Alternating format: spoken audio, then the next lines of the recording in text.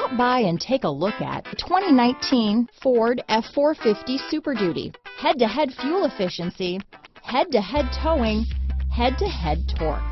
Ford F-450 Super Duty. This vehicle has less than 100 miles. Here are some of this vehicle's great options.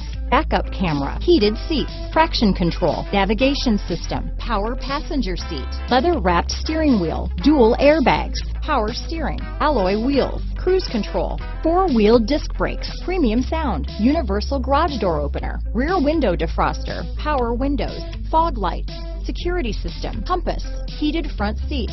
This vehicle offers reliability and good looks at a great price. So come in and take a test drive today.